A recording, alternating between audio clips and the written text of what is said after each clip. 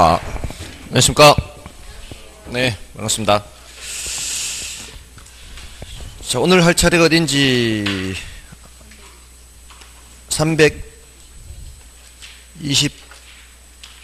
324쪽인가요? 저당 유동화인가요? 고정금리, 변동금리도 했습니까? 예, 근데 왜 건너뛰려고 하십니까? 고정금리, 변동금리 안 했죠? 어, 이거 안 했습니다. 어, 이거 상상도 할 수 없는 그런 해설이 있는데 여러분들은 아직 문제를 안 풀어보셨죠? 예, 오늘 질문을 받았는데 어, 9페이지를 보시면 어, 이게 갑자기 이런 게 들어가 있어요. 해설이 에, 9페이지의 1번 문제예요. 풀어보셨나요 혹시? 해설이 영 엉뚱깽뚱한 게 들어가 있죠. 음, 왜 이런 게 들어갔는지 저도 지금 이해가 안 됩니다. 제가 원고를 쓰는 다른 교재도 있거든요. 다른 교재에는 제대로 돼 있어요. 이게 엉뚱한 게 들어가 있습니다. 정답 표시는 맞는데 부동산의 정착물에 관한 설명 중 틀린 것은 이렇게 돼 있죠. 1번에 보시면 제거하여도 건물의 기능 및 효용에 손실이 없는 부착된 물건 제거해도 별로 지장이 없어요. 이런 것들은 어, 그는 동산이 되겠죠. 음, 제거해도 별로 관계없는 것들. 이건 맞는 말이고요. 그 다음에 토지에 정착되어 있으나 매년 경작 노력을 요하지 않는 나무. 경작 노력을 요하지 않는 나무란 얘기는 자생하는 나무 생각하시면 돼요. 산에 저절로 자라는 나무. 에, 그리고 단연생 식물. 단연생 식물의 대표적인 게 자생하는 나무겠죠. 자, 이런 것들은 부동산의 정착물이에요. 정착물이 아니에요. 정착물이죠. 예, 그래서 이분이 틀린 질문이 되는 겁니다. 그리고 부동산 중개 대상물을 얘기할 때 토지 및 그 정착물 하지 않나요? 중개 대상물 혹시 이 중개사법 배우시나요? 중개 대상물에 뭐가 있어요? 토지 및 그 정착물 하지 않나요? 그렇죠? 예, 그러니까 어, 중개 대상이 될 수도 있죠. 경우에 따라 중개 대상이 될 수도 있습니다. 정착물이. 예, 그래서 2번이 틀린 지문이고요. 해설이 완전히 엉뚱깽뚱한 것으로 되어 있으니까 예, 그걸 삭제를 하시고요. 방금 예, 들으신 대로 예, 해설을 생각하시면 되겠습니다. 됐죠? 자, 어, 오늘 이제 진도를 나가기 전에 오늘도 마찬가지로 음, 지난 시간에 했던 내용들을 좀 복습을 하는데요. 어, 그 전 시간 그 전 시간에 정책론 뒷부분부터 했었죠. 그러니까 어, 정책론도 약간 어, 터치하면서 복습을 해보겠습니다.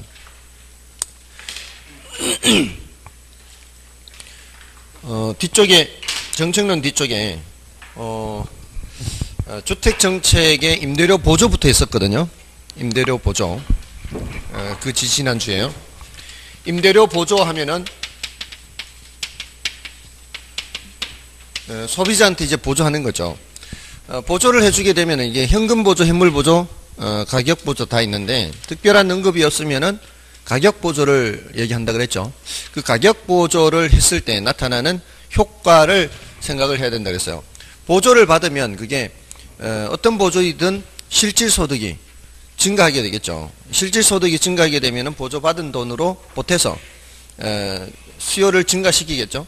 근데 이제 보조를 받는데 저소득층들이 보조를 받는 것이기 때문에 고가 주택 시장으로 가서 수요를 증가시키는 게 아니라 저가 주택 시장에서 그러니까 달동네 같은 데서 이렇게 생각하셔야 돼요. 임대료를 보조받는다. 그럼 달동네 사는 사람들이 수요를 증가시킨다. 이런 식으로 생각을 하셔야 되겠죠. 그러면은 임대료가 올라가겠죠. 음, 달동네 임대료가 올라가요. 그러면은 공급자들, 집주인들 입장에서는 돈이 되는 거죠. 자, 그러니까 어, 어, 임대료가 올라가는 그, 그, 그, 그 동네에는 예, 더 이상의 주택은 없지만 이제 장기적으로 이제 공급이 증가할 때 그 동네에 새로 지어서 공급하는 게 아니라 예, 그 옆에 예, 있던 주택들 중에서 낡아지기 시 작하는 것들 있죠. 그 낡아지기 시작하는 것들을 이제 새로 놓고 그 사람들은 다른 데로 가는 거죠. 그래서 하향 여과를 함께 말씀을 드렸어요. 그러니까 하향 여과를 통해서 어, 저가주택 시장의 공급이 증가한다. 이렇게 말씀을 드렸죠. 에, 그렇게 해서 공급이 증가하게 되면은 이제 임대료가 내려가게 되겠죠. 그래서 장기적으로는 임대료가 내려서 모두 다 임차인이 혜택을 봐요. 그러니까 단기적으로는 임대인도 예, 혜택을 본다. 이런 내용이었죠. 자, 그 효과를 얘기하는 거고요. 에, 다음에 예, 부동산 조세라는 거 있죠. 부동산 조세. 부동산 조세에서는 예, 조세 전가와 귀착 현상을 말씀을 드렸어요. 예, 조세를 부과하게 되면 그게 예, 그 상대방에게 전가가 될 수 있다 그랬죠. 예, 그리고 최종적으로 누가 얼마만큼 부담하느냐 문제가 귀착의 문제인데 어, 이게 누가 얼마만큼 부담하느냐 하는 것은 선택의 여지가 누가 더 많으냐 적으냐 여기에 따라 달라진다 그랬죠. 선택의 여지가 많은 쪽이 덜 부담하게 되겠죠. 근데 그 선택의 여지가 많다 적다를 뭐로 설명했어요? 탄력성으로 설명했죠. 그래서 탄력성이 클수록 선택의 여지가 많다, 크다 이렇게. 그래서 탄력적일수록 덜 부담한다. 비탄력적일수록 더 부담한다 이렇게 했죠. 그래서 어, 완전 비탄력적이면 다 부담하는 것이고요. 완전 탄력적이면 하나도 부담하지 않는다 이렇게 했습니다. 그런 내용들을 예, 탄력성 했고요. 에, 탄력성이 똑같으면 어떻게 돼요? 에, 탄력성이 똑같으면 반반 부담하죠. 반반. 맞죠? 예, 그런 내용들을 했습니다. 다음에 이제 투자론으로 들어와서 투자론의 예, 기초에서 지렛대 효과 있죠. 예, 지렛대 효과는 타인 자본을 이용했을 때 나타나는 효과입니다. 예, 타인 자본을 이용한다고 해서 타인 자본만 이용하는 게 아니라 그랬죠. 타인 자본과 예, 내 자본, 자기 자본을 함께 투자를 한다 그랬어요. 예, 함께 투자를 해서 얻는 수익을 생각하는 거죠. 내 돈과 남의 돈이 함께 나가서 벌어들이는 그 수익이 이자율보다 높은 수익이면 남의 돈이 번 수익은 이자만 주고 남는 것은 나한테 얹어지는 거죠. 그러면 자기 자본 수익률이 높아지게 되는 효과. 이게 이제 우리가 원하는 정의 지렛대 효과죠. 근데 이자율보다 음, 이자율보다 낮은 수익을 내게 되면은 남의 돈은 반드시 뭐는 채워줘야 되니까 이자는 채워줘야 되니까 내 돈이 번 것마저도 얹어서 채워줘야 돼요. 그러면 내가 번 돈은 줄어들게 되겠죠. 심할 경우에는 마이너스 어, 수익률이 나올 수 있어요. 이걸 이제 부의 지렛대 효과 이렇게 했죠. 그리고 아주 예외적이지만 중립적 지뢰도 있죠. 음, 이자율만큼 정확하게 수익률이 발생할 때는 중립적 지뢰가 발생할 수 있다 그랬어요. 자, 이런 내용이 있었고요. 다음에 위험과 수익 이런 내용을 했죠. 위험과 수익. 아, 위험이라는 것은 예상치로부터 벗어나는 것인데요. 이것을 측정할 때는 표준 편차나 분산으로 측정한다 그랬고요. 어, 수익은 평균, 가정 평균으로 측정한다 그랬죠. 어, 지금 듣고 계시죠? 에, 혹시 딴 생각하는 거 아니죠? 에, 항상 그, 이, 확인하고 싶어요. 에, 과연 따라올까 그렇지 않을까? 아니면 머릿속으로 딴 거 생각할까?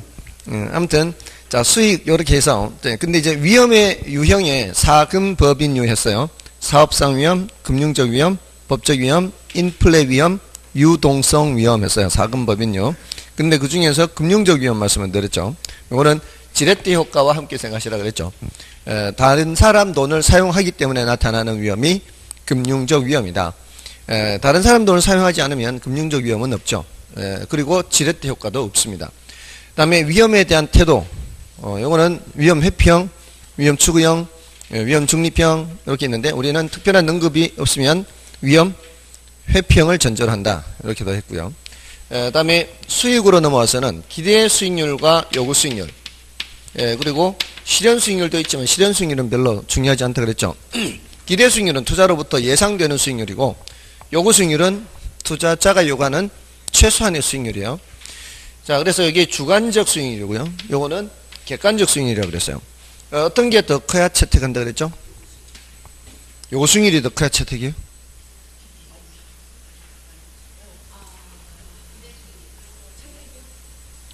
채택하려면 예상 수익률이 더 커야 돼요. 예, 투자로부터 예상되는 수익률이 내가 원하는 수익률보다는 요거 수익률이 내가 원하는 수익률이에요. 내가 원하는 수, 주관적으로 원하는 수익률인데 그거보다 예상 수익률이 더 높아야 투자를 하는 거죠. 예, 안 틀릴 거야 앞으로. 한번 틀려봤기 때문에 이게 더 커야 채택이죠. 같을 때도 채택한다 그랬죠. 예, 같을 때도 채택이에요. 예, 그리고 어, 이 요구 수익률은 어, 다른 곳에 있다 해서 외부 수익률 이렇게도 표현을 할 수가 있어요. 기대 수익률은 내부 수익률, 요구 수익률은 외부 수익률 이렇게 에, 다른 말로 요구 수익률은 자본의 기회 비용이다 이런 표현한다 그랬어요. 맞나요? 생각나시나요? 자본의 기회 비용만 생각나나요? 아니면 그게 요구 수익률이라는 것도 기억나나요? 예, 같이 기억해야 돼요. 기대 수익률에서 자본의 기회 비용 하면은 틀리니까 어디에서 자본의 기회 비용이라 한다? 요구 수익률. 왜 그렇게 예, 예, 그 요구 수익률이 자본의 기회 비용과 같은가요?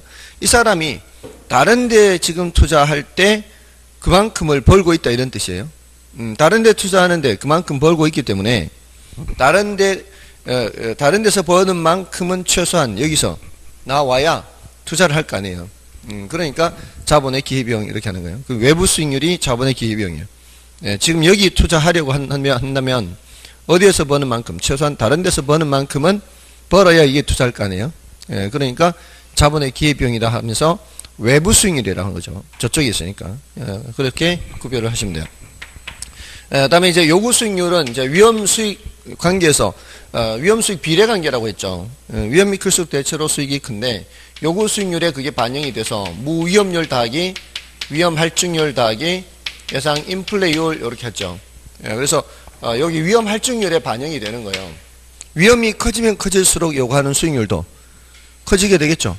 예, 요구하는 수익률이 커진다 할 때 위험 할증률이 커져요. 예, 그래서 요거는 자세한 거는 이제 나중에 한다고 했고요. 예, 요거는 시간에 대한 대가다. 요거는 위험 부담에 대한 대가다. 요거는 인플레이션 발생에 대한 대가다. 그러니까 투자자가 투자를 할 때는 예, 거기에 따른 뭔가 대가를 요구하는 거 아니에요. 음, 기다리는 데 대한 대가. 예, 지금 쓸 돈을 안 쓰고 예, 나중에 쓰겠다고 하면은 그만큼 참는 거에 대한 대가에 있어야 될 거 아니에요. 예, 그게 바로 무위험률이에요. 기다리기만 해도 되고.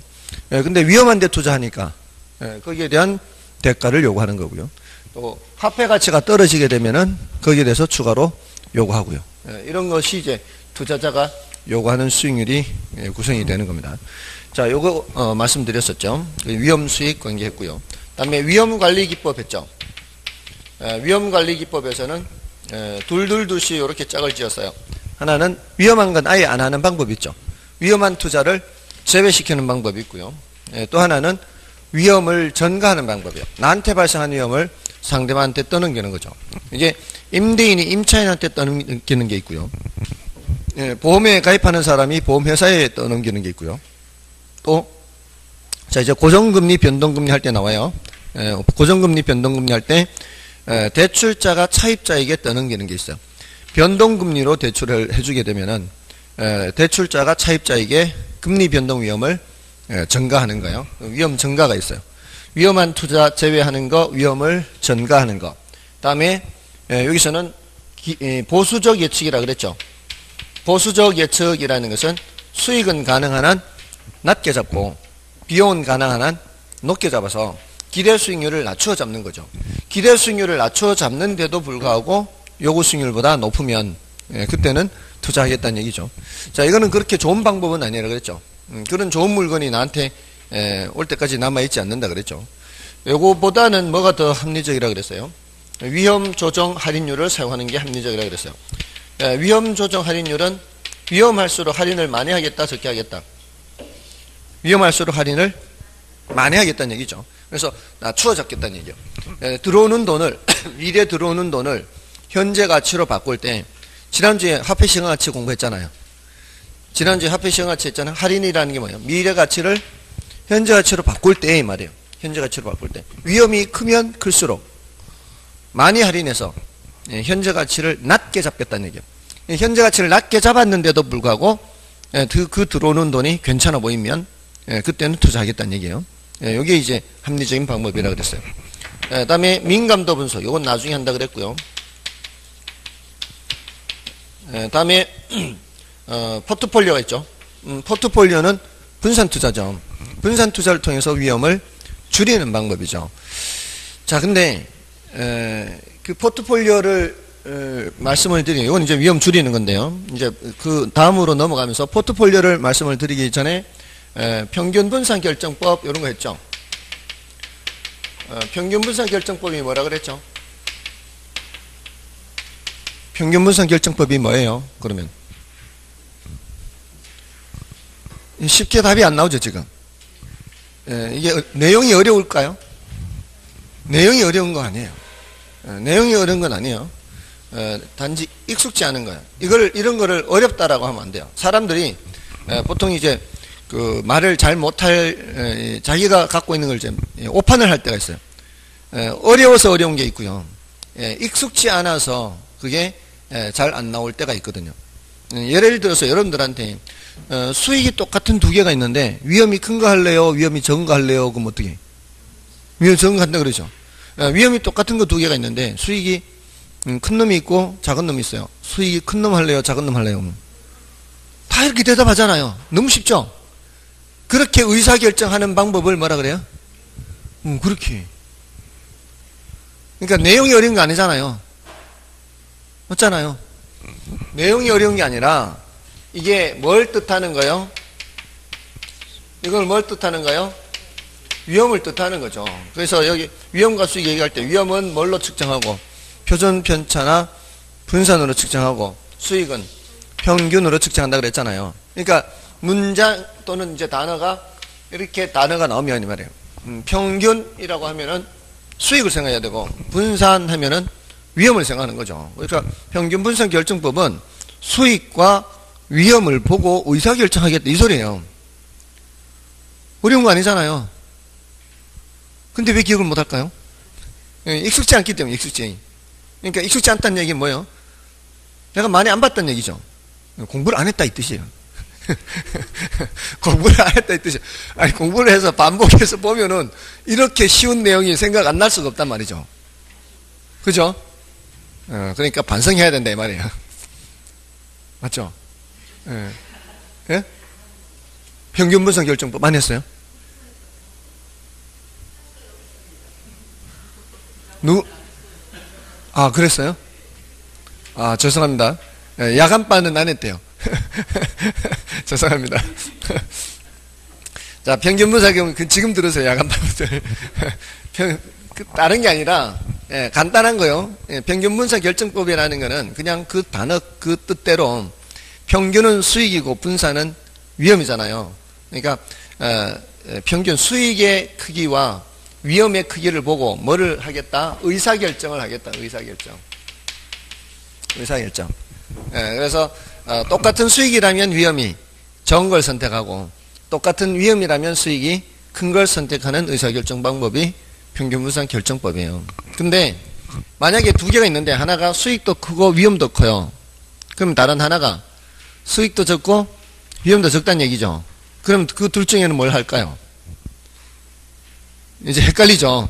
예, 수익을 보자니 이걸 잡아야 되고 위험을 보자니 이걸 잡아야 돼요. 이렇게 헷갈리는 경우를 뭐라고 해요? 평균 분산 오류라 그래요. 평균 분산 오류. 예, 평균 분산 오류는 이제 이걸 해야 될지 저걸 해야 될지 헷갈리는 상황. 그걸 뭐라고 한다고요? 평균 분산 오류 이렇게 해요. 그러니까 이런 용어들을 에, 아는 것이 이제 공부인 거죠. 내용이 어려운 게 아니라 그런 것을 이렇게 표현을 한다는 거죠.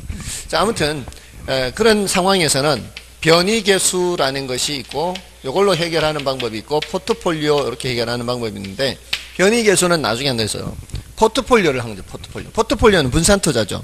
그러니까 A를 할래, B를 할래 이렇게 하는 게 아니라 평균 무사 결정법에서는 그렇게 하고 있잖아요. A 할래, B 할래. 근데 포트폴리오에서는 A에도 투자하고 B에도 투자하고 그러니까 주식을 생각하면 A 주식도 일부 사고 B 주식도 일부 사고 이렇게 분산 투자를 하는 거죠. 자 이렇게 분산 투자를 통해서 우리는 위험을 줄인다 그랬죠. 근데 모든 위험을 줄이는 게 아니라 그랬죠. 음, 줄일 수 없는 위험도 있죠. 그게 뭐예요?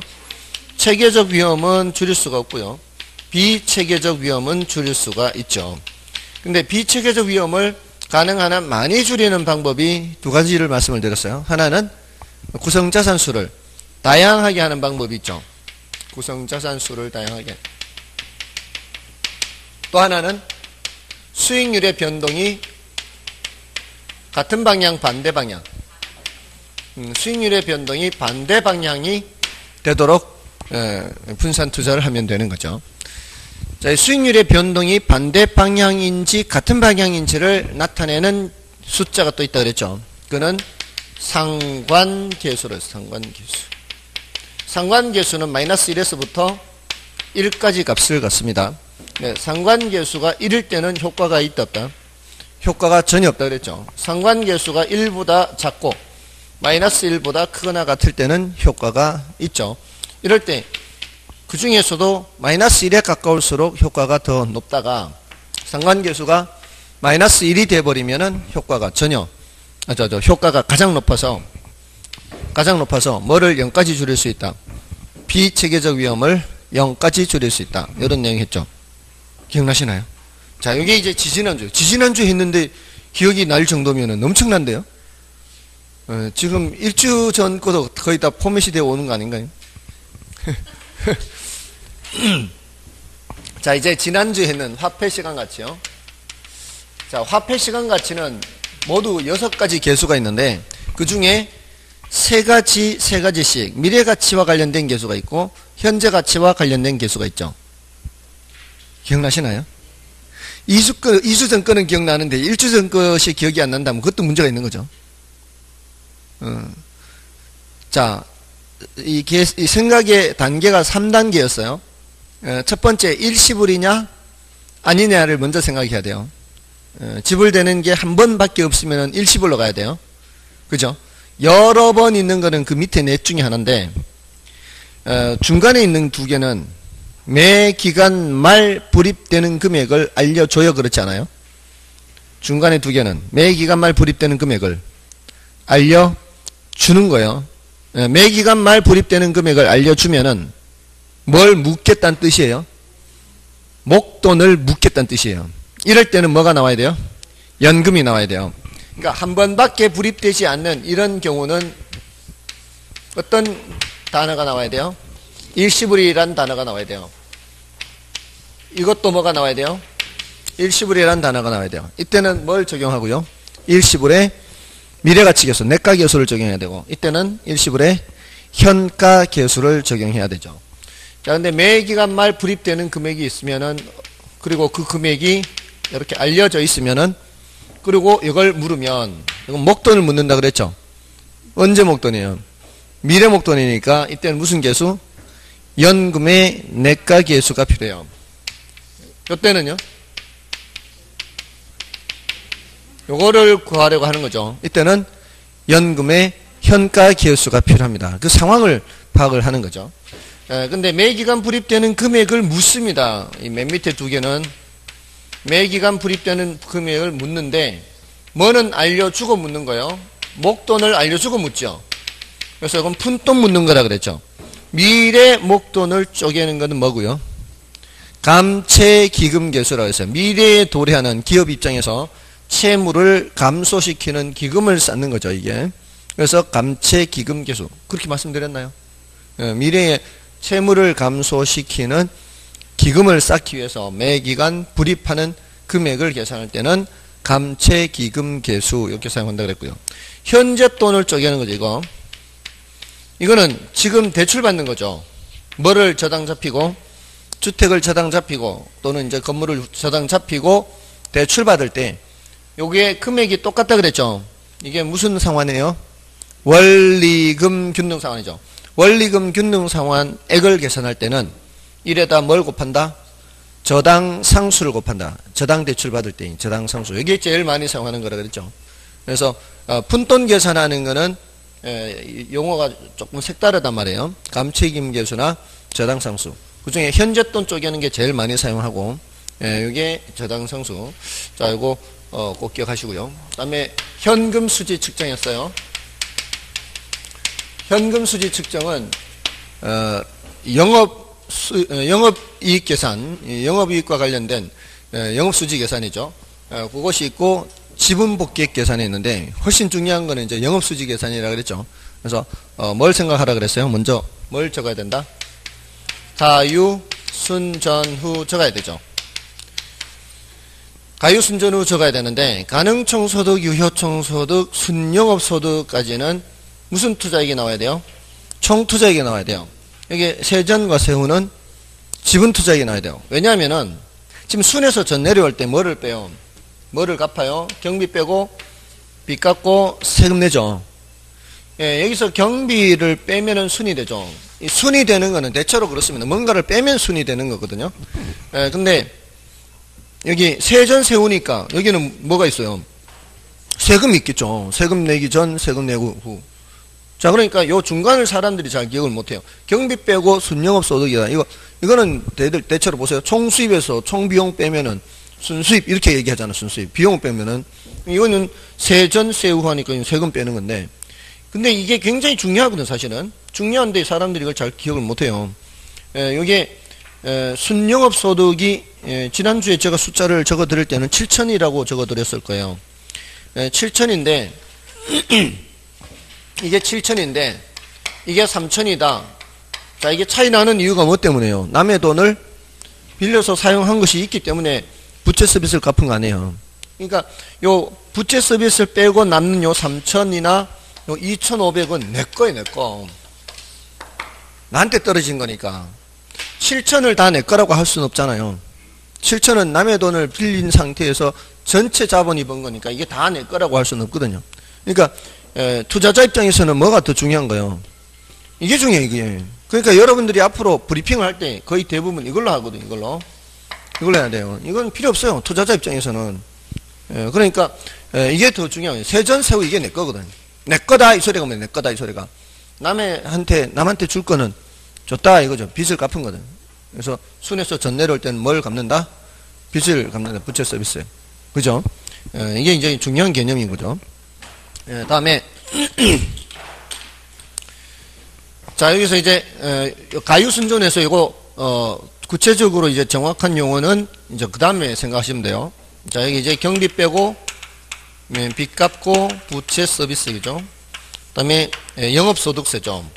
자 이게 영업소득세 이렇게 예, 얘기하는 거는 적자일 때는 영업소득세가 없을 수가 있죠. 근데 재산세는 반드시 내야 된다 그랬죠. 음, 재산세는 어디에 들어가는 거예요? 영업 경비에 들어가요. 영업 경비. 이건 반드시 내야 되는 고정 경비예요. 그리고 부채 서비스액은 뭐와 뭐의 합으로 돼 있다? 원금과 이자의 합으로 돼 있다. 이걸 기억을 해야 되고요. 그리고 영업 경비에 포함되지 않는 항목 요걸 더 했죠. 포함되지 않는 항목은 이 위에 있어서 포함되지 않는 항목이 있죠. 이 위에 있어서 포함되지 않는 항목은 공실 및 불량부채 충당금이고요. 아래에 있어서 포함되지 않는 항목은 이렇게 있죠. 이거 말고도 뭐가 더 있는가 하면은 감자 소개가 돼 있다 그래서 감자 소개. 음, 감가상각비, 자본적 지출, 소유자급여, 개인적인 업무비. 기억나시나요? 했나요? 감자 소개 했습니까? 네.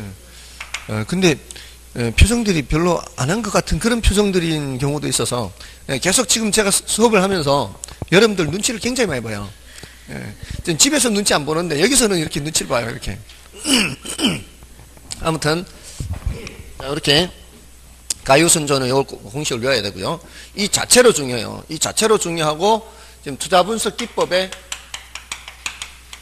이걸 알아야 훨씬 더 편리해요. 이게 예, 물론 지금 영업수지 계산 말고도 또 뭐가 있어요. 예, 지분복귀 계산도 있죠.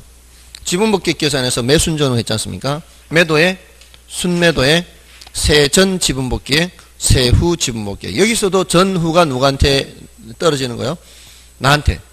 그러니까 전후가 되면은 세전 지분복귀 또는 세후 지분복귀 이거는 내한테 떨어지는 거라는 얘기야. 그럼 순매도액은 다 내 것이 아니란 얘기죠. 아직 뭐를 갚기 전이다? 빚을 갚기 전에 순 순영업 소득이나 순매도액은 아직 빚을 갚기 전이에요.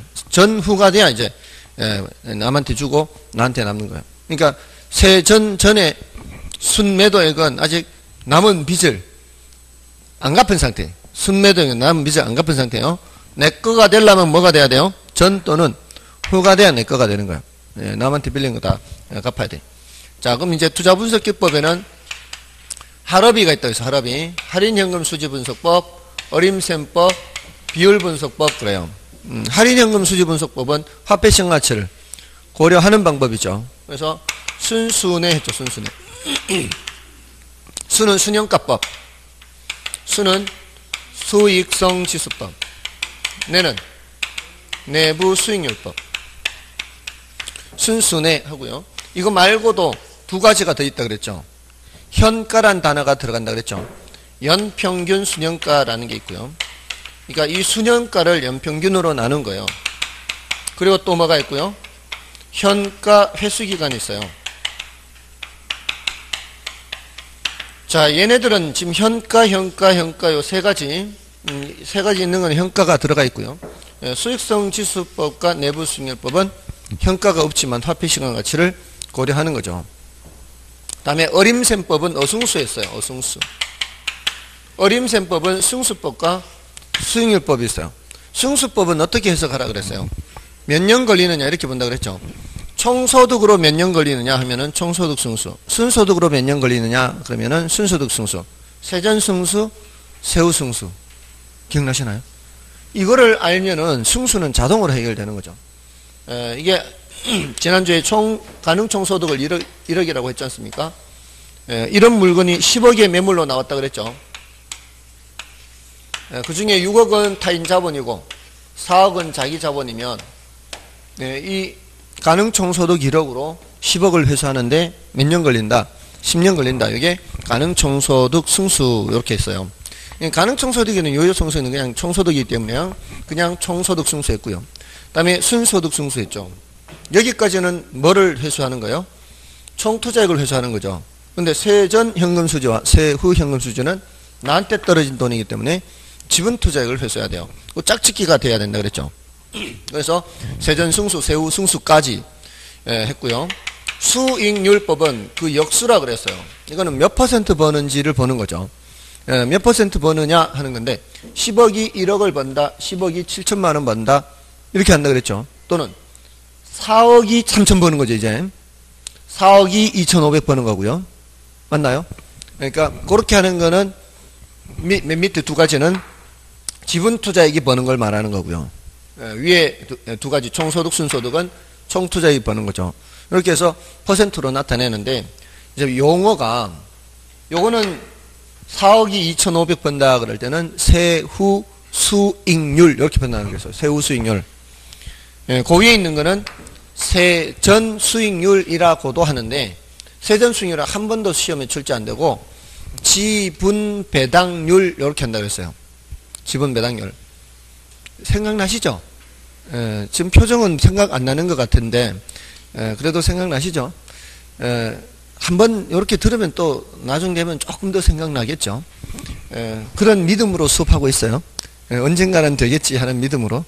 예, 다음에 요거는 요거는 총 투자액이 버는 거죠. 음, 10억이 7천만 원 버는 거. 7% 요거는 순소득 수익률 요런 말 안 한다 그랬어요. 종합 환원율 이렇게 한다 그랬죠. 종합. 종합 환원율. 그다음에 10억이 1억이다. 이게 총소득. 음, 총투자액분의 총소득. 이렇게, 이렇게 하면은 총자산 회전율 이렇게 총자산.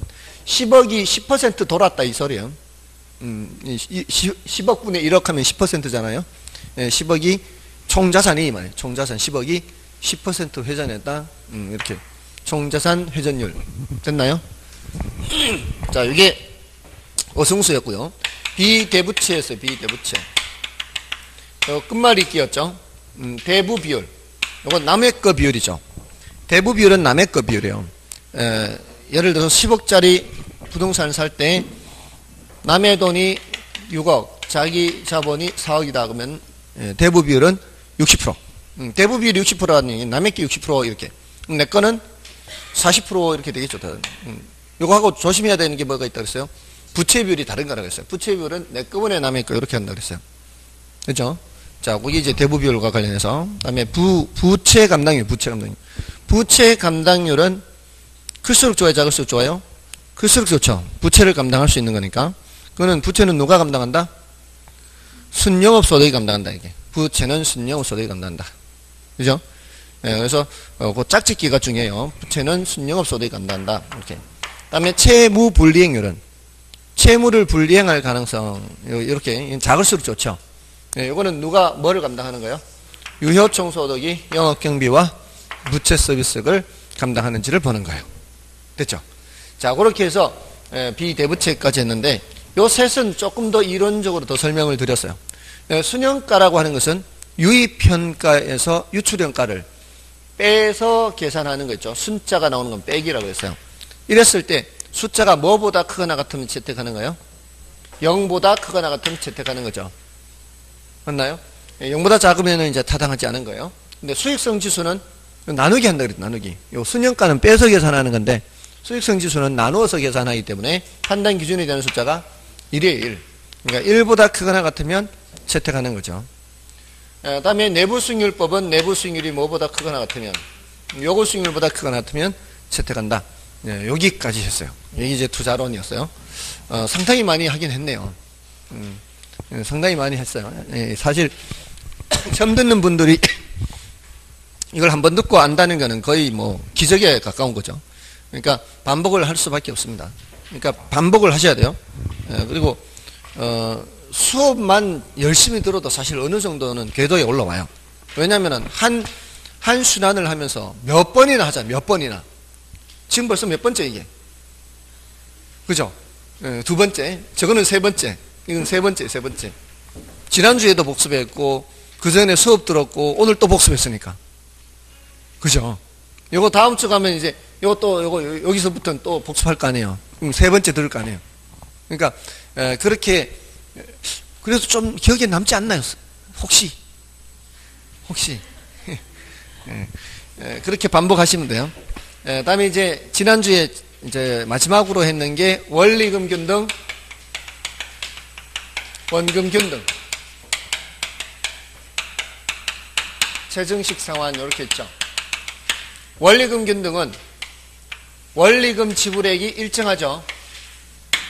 이게 원리금 지불액이요.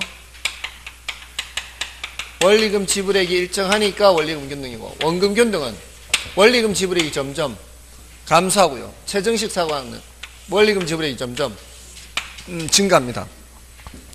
자, 근데 원리금 지불액이 일정한 것 중에서 이자는 점점 어떻게 되고요? 줄어들고요. 원금 상환은 점점 늘어나죠.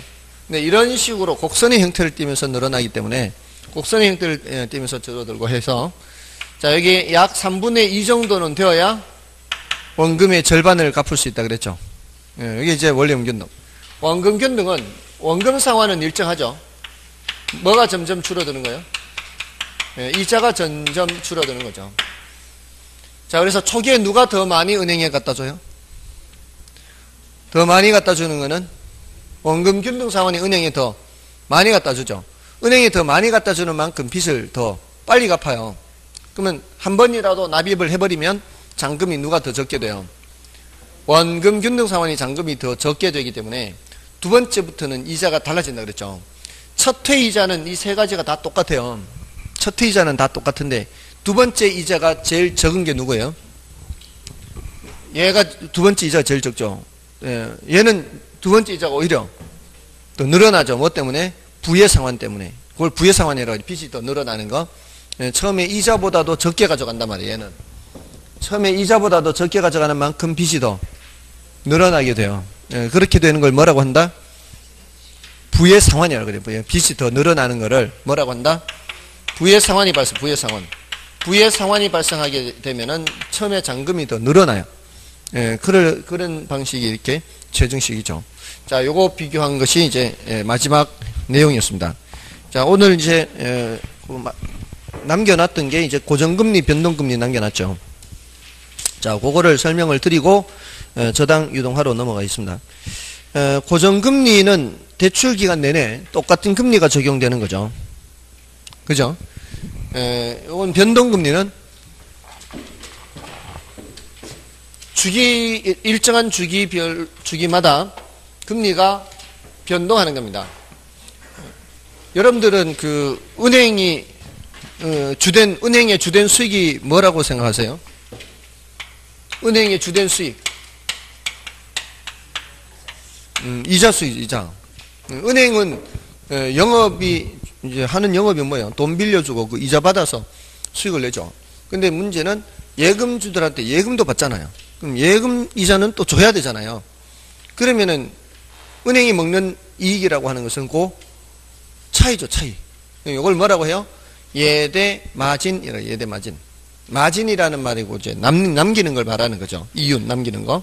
그래서 어, 이 고정금리는 대출금리가 고정돼 있는데 대출금리가 고정돼 있는데 대출 기간 내내 이제 고정이 돼 있는 거죠. 음, 대출 기간 내내 고정이 됐는데 예금 금리는 말이에요. 처음에 대출해 줄 당시에는 요 정도의 마진을 먹어야 되겠다고 해서 예금 금리에다가 얹어서 대출을 해주는 거거든요. 근데 대출해 준 이후에 1년, 2년 지날 때 시장 금리가 올라가게 되면 예금 금리를 올려줘야 돼요. 안 그러면 예금주들이 예금하러 안 와요. 자, 근데 이미 1년, 2년 전에 대출 금리는 고정 금리로 이미 대출을 해줘 버렸기 때문에 에, 가면 갈수록 이게 수익성이 줄어들어요. 예대 마진이 줄죠. 자, 이렇게 되면 이게 금융기관 입장에서는 에, 불리한 거죠. 금리 상승기에 어떻게 된다고요? 금리 상승기에 수익성이 에, 떨어져요. 그럼 금리가 하락하는 시기에 금리가 하락하는 시기에는 수익성이 개선될까요? 수익성이 개선이 안 돼요. 애석하게도 이게 안 돼요, 이게. 어떻게 해요? 사람들이? 에, 미리 갚는 거죠. 에, 다른 데 가서 싸게 빌려가지고, 싸게 빌릴 수 있으니까. 싸게 빌려서 갚아버리면 그게 뭐예요? 조기 상환, 조기 상환. 만기전 변제. 이런 위험이 커져요. 물론, 그 조기 상환 수수료라는 거 있죠. 조기 상환 수수료 같은 걸 매기기는 하는데, 그것도 한계가 있단 말이에요. 예, 그 조기상환 수수료를 부담하고서라도 이익이 되면 갚아버리는 거죠. 예, 그러면 금융기관 입장에서는 예, 불리할 수밖에 없다는 거죠. 그래서 이거는 금리 변동 위험을 누가 부담한다? 금리 변동 위험을 음, 대출자가 부담해 대출자. 자, 이 대출자란 용어를 조심하라 그랬어요. 매스컴에서 굉장히 예, 잘못 쓰는 표현이 바로 이 대출자예요. 대출자는 돈을 빌린 사람, 빌려준 사람, 빌려준 사람이에요. 근데 빌린 사람으로 잘못 쓰는 예, 그런 표현들이 많이 나와요. 은행에 저저 그, 그 금융 관련 기사에 그래서 어, 이걸 주의를 해야 돼요. 예, 기자가 잘못 쓴 거 보고 어, 여러분들이 잘못 알고 있다가 시험 칠 때 이렇게 해버리면 이제 틀리는 거죠. 시험 칠 때 굉장히 많이 나오니까요. 대출자, 차입자 많이 나옵니다. 예, 빌린 사람이 차입자죠, 차입자. 자, 아무튼 예, 이런 금리 변동 위험을 대출자가 부담하니까 금융기관 입장에서는 별로 어, 바람직하지 않습니다. 그러니까 금융기관 입장에서는 금리가 오르락 내리락 하면은 예, 대출금리도 예금금리 오르락 내리락 하면은 대출금리도 오르락 내리락 이렇게 해야 일정한 마진을 먹을 수 있죠. 일정한 마진을 예, 먹을 수 있어요. 그래서 이거는 금리 변동 위험을 누구에게 증가시킨다고요? 차입자에게 증가시킨다. 아까 위험 관리 기법에서 나왔죠. 위험 증가하는 방식에 차입자에게 증가한다 그래 증가. 자, 그럼 이제 어떻게 변동 금리를 측정을 하는가 하면은 이 변동 금리를 측정할 때는 기준 금리에다가 가산 금리를 더요. 어, 기준금리가 일종의 예금금리예요. 예금금리. 요게 대출금리고요. 그럼 요건 뭘까요? 요거는 은행이 먹는 마진이 되는 요게 이제 마진, 마진. 요게 마진인데 여기 사람마다 다릅니다. 신용 등급이 높은 사람이 있고 신용 등급이 낮은 사람이 있죠. 신용 등급이 높은 사람은 요게 낮겠죠. 신용 등급이 낮은 사람은 이게 높, 높을 거고요. 여러분들이 생각하시기에는 여러분들이 스스로 신용 등급이 높다고 생각해요? 낮다고 생각해요? 보통, 보통. 음, 저는 신용 등급이 에, 낮은 편이에요. 예, 예, 저는 신용 등급이 낮은 편이. 예, 강사들은 다 신용 등급이 낮아요. 예, 강사들은 어, 이, 여기 예, 시장 잘리면 더 이상 갈 데가 없어요. 예, 갈 데가 없어요. 예, 무슨 고용보험이 있는 것도 아니고요. 산재보험이 되는 것도 아니에요. 음, 그냥 자기가 알아서 해결해야 돼요. 예, 쓰러지면 그, 자, 그, 그 순간 이제 나락으로 떨어지는 거예요. 산재보험도 없어요. 예, 그러니까 자기가 알아서 다 해야 돼요. 예, 그리고 예, 이 3D 이, 직종 중에 하나예요. 예, 강, 강의하다가 가는 사람들 꽤 있어요. 가요. 주로 1차 선생들이 가요. 예, 민법 결혼 2차 중에서는 공법. 왜냐면 강도가 세거든 이게. 그렇잖아요. 예, 수업도 여기 11월부터 막 빡세게 하잖아요. 예, 그리고 중간중간 특강도 제일 많은 게 이 민법 결혼 공법이에요. 지금까지 제가 이 강의 생활을 하면서 세 사람이 갔거든요. 세 사람이 쓰러져 강의하다가 강의하다가 간 사람도 있어요. 심장마비로. 예, 근데 그게 다 알, 아는 사람이거든요. 이렇게 술도 한 잔 같이 했고 이런 사람들이요. 예, 근데 그 중에 세 사람 중에 두 사람은 결혼이고요. 한 사람이 민법이요. 다 1차 선생님. 예, 근데 그 세 사람 다 46에 갔어요. 46에. 음, 제가 이제 46 되기도 전에, 40, 저, 저, 저보다 나이 좀더 많은 선생님 먼저 갔는데, 나중에, 에, 다른 이제, 저하고 비슷한 연배 선생님들도 46에 갔어요. 다행히 저는 46 넘었어요. 46 넘었어요. 에, 아무튼, 에, 그, 에, 신용 등급이 낮아요. 그러니까 앞으로 강사한다 그러면 결혼시키지 마세요. 예, 별로 좋은 거 아니에요. 예, 아무튼 이게 이제 사람들마다 다른데 그러면 금리가 변한다라고 할 때 기준금리가 변할까요? 가상금리가 변할까요? 신용등급 제가 뭐 강의하다가 뭐 딴 거 했다 이렇게 쉽게 바뀌는 거 아니에요 이거는 음, 이거는 잘 안 바뀌어요 이게 바뀌는 거예요. 자 근데 이게 어, 지금 현재 우리나라에서 주로 사용하는 게 코픽스 지수예요 옛날에는 CD 수익률도 많이 사용했는데 코픽스 지수를 많이 사용하는데 이게 뭔가 하면은 시중에 이제 은행연합회가 있거든요. 있겠죠. 네, 몰라도 은행연합회 이렇게 직종별로 이렇게 연합회가 있는데 그 은행연합회에서 그 은행들의 예금 금리를 가중평균해요. 또 가중평균이라는 말 나왔죠. 자, 그 이유는 은행이 이제 예금을 받으면 보통 예금도 있고 정기 예금도 있고 정기 적금도 있고 3년 만기도 있고 1년 만기도 있고 여러 가지 종류가 있죠. 이 금리가 다 조금씩 다 다르죠. 금리가 달라요. 예, 보통 예금하고는 차이가 많이 나죠. 자 그러면은 정기 예금으로 정기예금은 2%예요. 2% 주기로 하고 예금 받는 거고 보통 예금은 0.1%예요. 예를 들어 자, 정기예금으로 100억을 받았어요. 보통 예금으로 10억을 받았어요. 계산하기 불편하니까 그냥 1%라고 할게요. 1%. 자, 그러면 아, 100억 말고 요거 요거 어, 어, 어, 400억 하게 400억. 음, 요걸 바꿀게요. 이게 보통 예금이 좀 더 적죠. 정기예금이 규모가 규모가 더 크다 보고요. 400억, 100억 이렇게 받았다고 쳐요. 400억은 2% 주기로 했고 100억은 1% 주기로 했단 말이에요. 그러면은 평균적으로 얼마 주는지를 계산해야 되죠. 왜냐하면 이 400억, 100억이 지금 은행이 들어오면 다 섞여버리잖아요.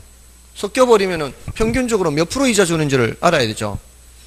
그러려면은 전체 몇 억 중에 전체 500억 중에 400억은 2% 주기로 했잖아요. 그죠?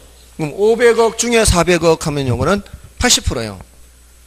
갖고 있는 돈의 80%는 2% 주기로 했고 갖고 있는 돈의 20%는 1% 주기로 했단 말이에요. 맞나요?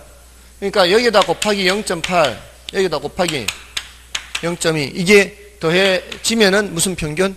가중 평균이에요. 그러면 8이 1.6%에다가 여기는 0.2%죠. 맞나요? 1과 0.2를 곱하니까 그러면 더하면은 1.8%가 되는 거죠. 그러니까 평균적으로 1.8%의 이자를 주니까 여기에다가 가상금리를 더해야 되겠죠. 이런 식으로 계산해 놓은 것이 코픽스 지수예요. 그 예금 상품 여러 개가 있어요. 예, 지금 저는 예를 들기를 이제 두 개만 들었지만 이렇게 해서 매달 15일 날 발표해요. 매달 15일 날 발표하는데 어 15일이 이제 어, 이번 달 같은 경우는 공휴일이에요. 그러면 이제 다음 영업일 음, 다음 영업일 오후 3시에 발표하는데 만약에 오늘 대출 받으러 가면은 언제 발표한 코픽스 지수의 가상금리를 다는 거예요? 1월 15일이에요. 1월 15일 날 발표한 코픽스 지수가 있을 거 아니에요.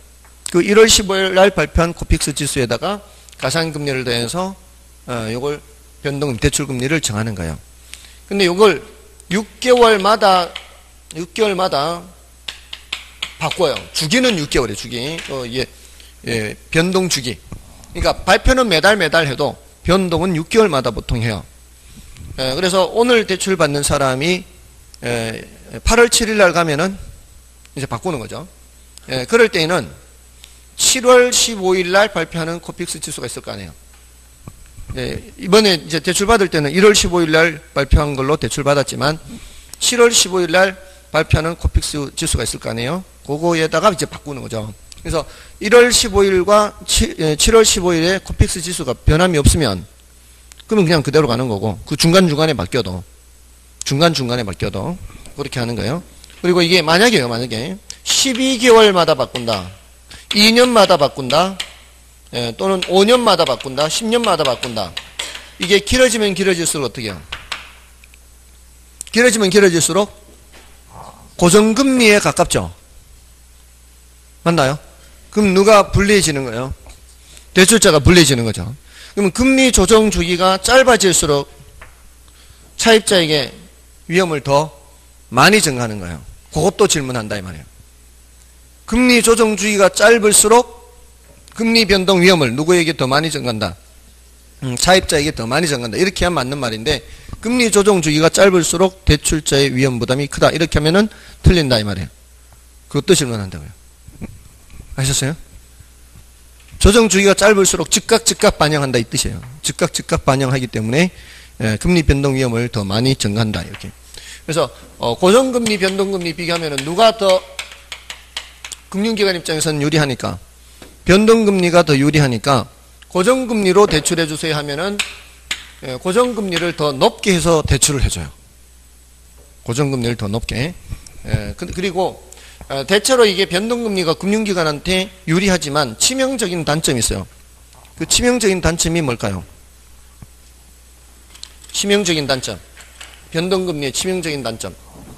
이거는 금리가 상승하는 시기에 채무 불이행 위험이 높아요. 치명적이 치명적. 금리가 상승하게 되면은 어, 차입자들이 버티다 버티다 어떻게 못 버티는 거죠. 음, 자빠지는 거죠. 어, 그 그런 금리 변동 어, 채무 불이행 위험이 예, 높다는 거예요. 됐나요? 자, 이 정도입니다. 일단 이 정도 하시고요. 에, 여러분들 교재를 보실 때에도 에, 지금 이런 내용들 위주로 보시고요. 에, 거기 보시면은 음, 315쪽이죠. 314쪽, 315쪽. 314쪽에 고정이자율 저당 대부 방법 이거는 뭐 그렇게 어, 어, 려운 것이 아니니까 여러분이 봐주시고요.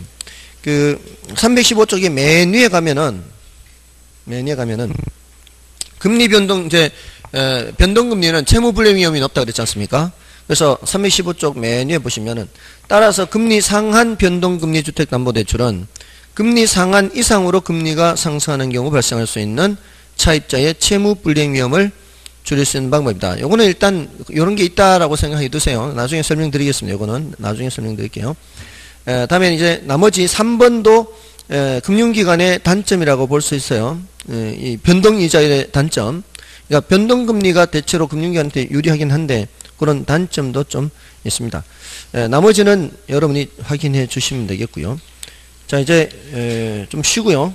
이제 저당 유동화를 들어가겠습니다.